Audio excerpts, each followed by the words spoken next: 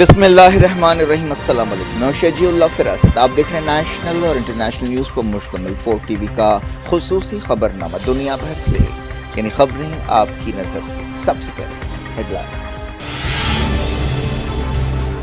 Israeli जुल्म पर खामोशी के बीच साउथ अफ्रीका ने उठाई आवाज़। नस्ल कुशी पर कार्रवाई के लिए आलमी अदालत पहुँच गया।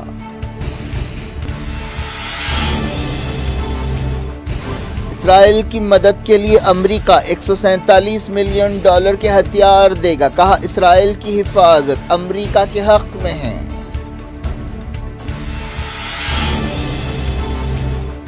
गाजा में बरबरीत जारी 24 घंटों में 100 से ज़्यादा फलस्तीनी जाम बह खान यूनुस में खौफनाक लड़ाई।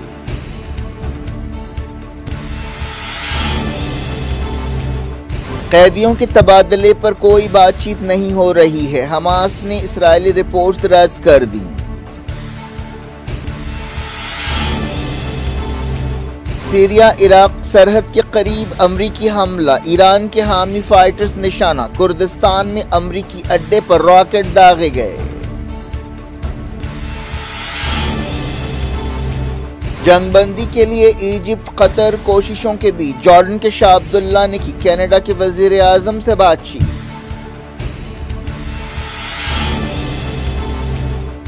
यूक्रेन में रशिया के अब तक के सबसे बड़े हमले, कई शहरों को निशाना बनाया गया, इकतीस हलाक।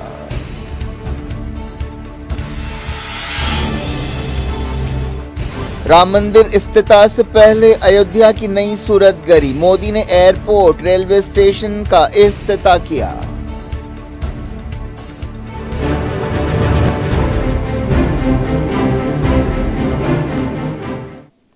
हेडलाइंस आपने देखी, अब खबरों की तफसील की तरफ़ आपको लिए चलते हैं। एक ऐसे वक्त जब गाजा में इसराइल की बरबरीत और जुल्म पर इंटरनेशनल कम्युनिटी और ख़ासतौर पर मुस्लिम मुल्क भी खामोश हैं साउथ अफ्रीका ने नस्ल कुशी की कार्रवाइयों पर इसराइल के खिलाफ आलमी अदालत में एक मुकदमा दायर किया है। साउथ अफ्रीका ने इंटरनेशनल कोर्ट ऑफ़ जस्टिस में ये कार्रवाई शुरू की है।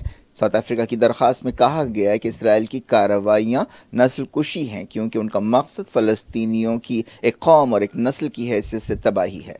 दरख्वास्त में कहा गया कि इसराइल गाज़ा में फ़लस्तीनियों के जिस्मानी और दमागी, यानी फ़लस्तीनियों को जिस्मानी और दमागी अजियत पहुँचा रहा है और सोच समझ कर जानबूझ कर उनकी हर हर चीज़ तबाह कर रहा है। दरख्वास्त में कहा गया कि इसराइल के हमले जेनीवा कन्वेंशन की खिलाफ वर्जी हैं। साउथ अफ्रीका ने इसराइल के साथ अपने सफारती ताल्लुक भी घटा दिए हैं। दरख्वास्त में आलमी अदालत से कहा गया कि वो इसराइल को हलाकतों से रोके।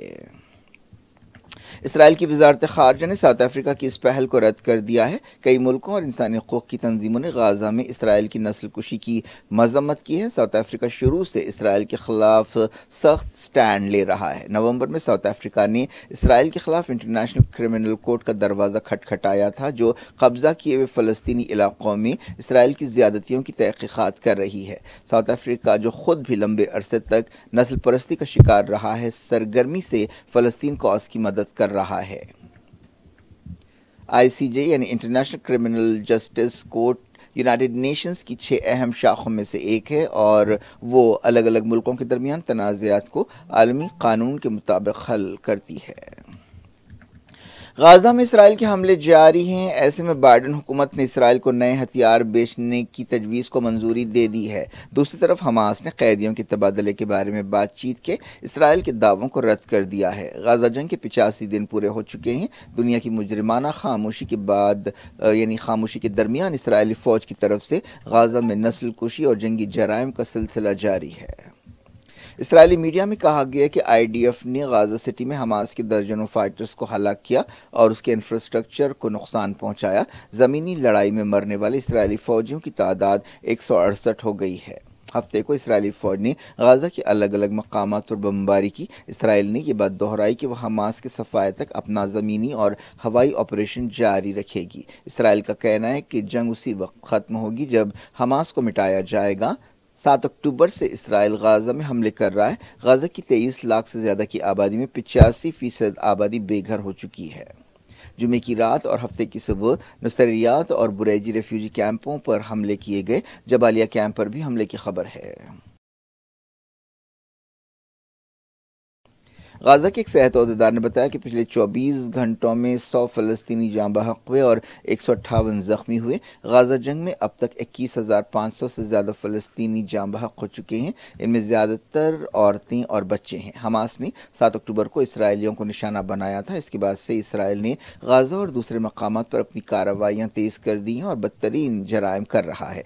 गाजा में इसराइल की बमबारी में शहरीों और फाइटर्स के दरमियान कोई फ़र्क भी नहीं किया जा रहा है। इसराइल का कहना है कि हमास सिविलियंस की हलाकतों के लिए ज़िम्मेदार है क्योंकि हमास सिविलियंस को ढाल के तौर पर इस्तेमाल कर रही है। इसराइली अहदेदारों ने कहा है कि वो सौ से ज़्यादा इसराइली होस्टेजेस को रिहा कराएँगे। हमास के अहदेदार ने कहा कि कैदियों के तबादले के बारे में फ़िलहाल कोई बातचीत नहीं हो रही है। लबनान में हमास के नुमाइंदे उसामा हमदार ने कहा कि इसराइल ये बातें, ऐसी बातें फैला रहा है जो उसे सूट करती हैं। कतर और इजिप्ट, अमरीका के साथ मिलकर जंगबंदी के लिए काम कर रहे हैं। फ़िलहाल एक ऐसी तजवीज़ ज़ेर गौर है जिसके मुताबिक मुख्तलिफ़ हिस्सों में अमन कायम किया जाएगा। साउथ गाज़ा में सख्त लड़ाई की खबर है। खान यूनुस भी इसी इलाके में है, जिसे हमास का मज़बूत गढ़ समझा जाता है। यूनाइटेड नेशंस ने कहा है कि गाज़ा में पहुँचने वाली मदद बहुत थोड़ी है। अमरीका के secretary of state Antony Blinken ने कांग्रेस से कहा है कि इसराइल को एक मिलियन डॉलर के हथियार और फौजी आले दिए जाएँगे। उन्होंने एक बयान में कहा कि इसराइल को अपनी हिफाजत के लिए हंगामी मदद की ज़रूरत है। अमरीका ने कई मरतबा इसराइल की फ़ौजी और सफारती मदद की है। अमरीका इसराइल की सिक्योरिटी का पाबंद है। ब्लिंकन ने कहा कि इस बात को यकीनी बनाया जाएगा कि अमरीका के मफादात जो इसराइल के मफादात से जुड़े हुए हैं, उनकी हिफाजत की जाए। उन्होंने कहा कि इसराइल अगर ख़तरों के ख़िलाफ़ अपनी हिफाजत करता है तो ये अमरीका के हक़ में है। इस तरह बाइडन हुकूमत ने कांग्रेस को बाईपास करते हुए इसराइल को ये ताज़ा फ़ौजी मदद दी है। हमास के एक अहदेदार ने गजा में इसराइल की नस्ल कुशी को रोकने में नाकामी के लिए इंटरनेशनल कम्युनिटी की मजम्मत की है। हमास के अहदेदार ने एक बयान में कहा कि ये जराइम इसराइल के हाथों से तो हो रहे हैं, लेकिन असल में अमरीकी हुकूमत की मुकम्मल सरपरस्ती और मदद इसराइल के जराइम को हासिल है। हिजबुल्ला ने वार्निंग दी है कि लबनान के सिविलियंस पर किसी भी हमले का मुँह जवाब दिया जाएगा। हिजबुल्ला एग्जीक्यूटिव काउंसिल के रुकन शेख नबील ने कहा कि हमने हाल ही में बिनत जुबैल में हमले का जवाब देते हुए किरियात शमुना को निशाना बनाया। उन्होंने कहा कि लबनान, सीरिया, इराक, गाज़ा और यमन में मुजामती तंजीमों ने अमरीका और सेहयूनी इसराइल को करारी शिकस्त दी है। उन्होंने कहा कि जब हम इसराइल को कुचलते हैं तो हम अमरीका को शिकस्त देते हैं। उन्होंने कहा कि यमन में हमारे दोस्तों ने बताया है कि अमरीका रेडसी में बेबस है। हालिया अरसे में रेड सी में हूसियों के हमलों से बचाव के नाम पर अमरीका ने एक फ़ौजी इतिहाद बनाया है। हालिया अरसे में गाज़ा के फ़लस्तियों से यकजहती का इजहार करते हुए यमन के हूसियों ने कई मरतबा इसराइल जाने वाले जहाज़ों को निशाना बनाया है और वार्निंग दी है कि वो आगे भी जब तक गाज़ा के फ़लस्तियों को खाना, पानी, दवाएँ और ज़रूरी चीज़ें नहीं मिल जाती, वो इसराइल जाने वाले जहाज़ों को निशाना बनाते रहेंगे। इसराइली फ़ौज ने मगरबी किनारे में अपनी कार्रवाइयाँ जारी रखी हैं। ताज़ा खबरों में कहा गया कि पिछले 24 घंटों में कई फ़लस्तियों को गिरफ़्तार किया गया। अमरीका ने सीरिया, इराक सरहद के करीब एक हमला करते हुए ईरान के हामी फाइटर्स को निशाना बनाया। इसके जवाब में मुजामती तंजीमों ने अमरीका के कई अड्डों पर हमले किए। गाजा जंग शुरू होने के बाद से वक्फे वक्फे से ऐसी झड़पें हो रही हैं। एक रिपोर्ट में कहा गया कि सीरिया के दीरल ज़ोर में इराक सरहद के करीब किए गए हमले में पाँच फाइटर्स हलाक हुए और कई जख्मी हुए। एक टेलीग्राम न्यूज़ चैनल जो इराक की हशद शाबी के करीब है, बताया कि मरने वालों में लबनान के शहरी भी शामिल हैं। इराक के मुजामती ग्रुप्स ने सीरिया सरहद के करीब कुर्दिस्तान इलाके में, जो इराक में है, अमरीकी अड्डों पर हमले किए। इसराइल ने सीरिया में हवाई हमले किए हैं। इन हमलों में बास फाइटर्स के जाम बहक और ज़ख्मी होने की खबर है। इसराइल 2011 में सीरिया जंग शुरू होने के बाद से सीरिया में ऐसे कई हमले कर चुका है। एक दिन पहले ही सीरिया की साना न्यूज़ एजेंसी ने बताया था कि सीरियन एयर डिफेंस ने कई इसराइली मिज़ाइल्स और ड्रोन्स को मार गिराया। हिजबुल्ला ने गाजा के फ़लस्तियों की तायद में इसराइल में कई जगह हमले किए। सात अक्टूबर के बाद से हिजबुल्ला फाइटर्स और आईडीएफ के सिपाहियों के बीच लड़ाई हो रही है। अमन कोशिशों के दरमियान जॉर्डन के शाह अब्दुल्ला ने कनाडा के वज़ीर अजम जस्टिन ट्रॉडो से टेलीफोन पर बातचीत की। उन्होंने खासतौर पर सीज फायर के बारे में बात की। शाह अब्दुल्ला ने मगरबी किनारे और गाजा से फ़लस्तियों को ज़बरदस्ती बाहर निकालने की मुखालफत की। अमरीकी मीडिया में कहा गया कि गाजा की जंग जदीद तारीख की सबसे तबाहकुन जंग है। वॉल स्ट्रीट जर्नल ने कहा कि इसराइल ने गाजा में पंद्रह दिसंबर तक उनतीस हज़ार बम गिराए और गाजा के तकरीबन सत्तर फ़ीसद घरों को तबाह कर दिया।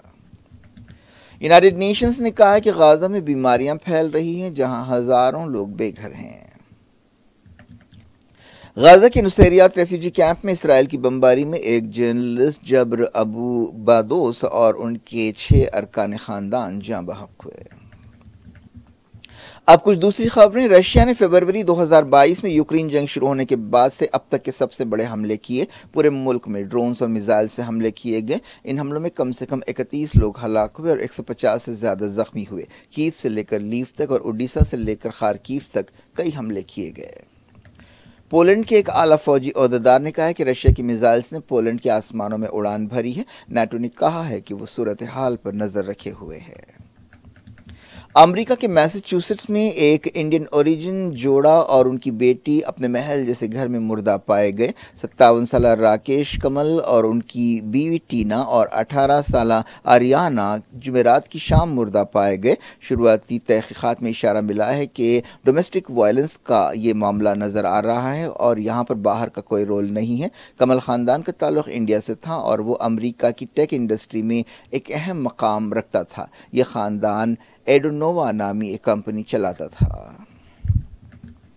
वज़ीर अजम नरेंद्र मोदी ने आवाम से कहा कि वो 22 जनवरी को राम मंदिर के अफ्ताह के लिए अयोध्या न आए। वज़ीर अजम ने कहा कि भक्तों की हैसियत से हमें लॉर्ड राम के लिए कोई मसाइल पैदा नहीं करना चाहिए। आप 23 जनवरी के बाद हमेशा कभी भी आ सकते हैं। राम मंदिर अब हमेशा हमेशा के लिए होगा।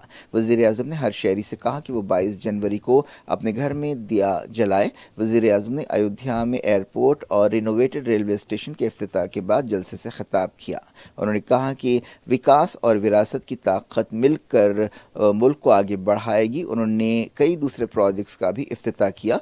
मोदी ने एक रोड शो में भी हिस्सा लिया। वज़ीर अजम ने वंदे भारत और अमृत भारत स्पेशल ट्रेन का अफ्ताह किया। नए एयरपोर्ट को महर्षि वाल्मीकि इंटरनेशनल एयरपोर्ट और रेलवे स्टेशन को अयोध्या धाम जंक्शन का नाम दिया गया। वज़ीर अजम ने इस मौके पर कहा कि लॉर्ड राम को टेंट में रहना पड़ता था, लेकिन अब उन्हें एक घर मिल गया है। राम मंदिर के अफ्ताह से पहले उत्तर प्रदेश की हुकूमत ने अयोध्या की नई सूरत गरी की है। इम्कान है कि बीजेपी राम मंदिर को एक बड़े कारनामे के तौर पर पेश करेगी और 2024 के लोकसभा इलेक्शंस में उसे कैश करने के लिए कोई कसर नहीं छोड़ेगी।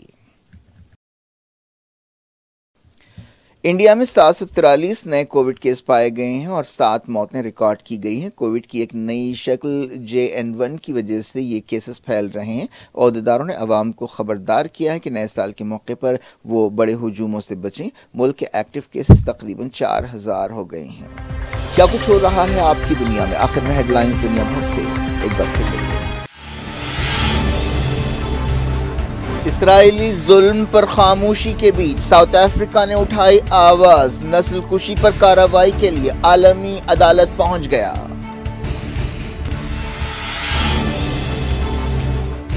इसराइल की मदद के लिए अमेरिका एक मिलियन डॉलर के हथियार देगा, कहा इसराइल की हिफाजत अमेरिका के हक में है।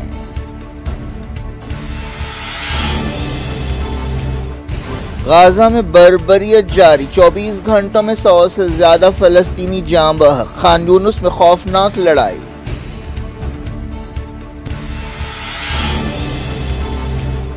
कैदियों के तबादले पर कोई बातचीत नहीं हो रही है। हमास ने इसराइली रिपोर्ट्स रद्द कर दी।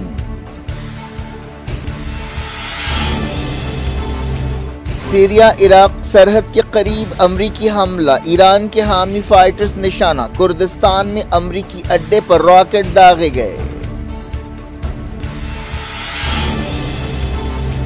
जंगबंदी के लिए इजिप्ट कतर कोशिशों के बीच, जॉर्डन के शाह अब्दुल्ला ने की, कनाडा के वज़ीर आज़म से बातचीत।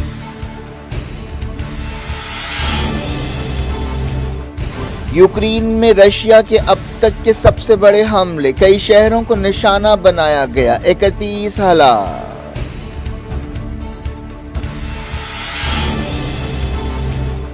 राम मंदिर अफ्ताह से पहले अयोध्या की नई सूरत गरी, मोदी ने एयरपोर्ट, रेलवे स्टेशन का अफ्ताह किया।